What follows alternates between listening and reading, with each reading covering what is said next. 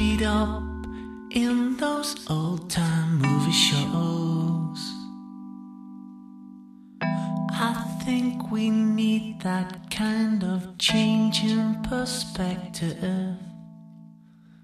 You say our love has failed and everything we've touched has turned.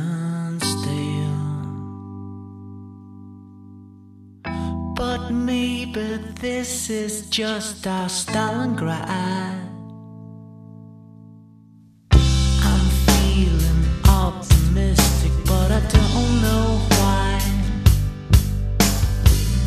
Maybe it's irrational, or is it just my stubborn side?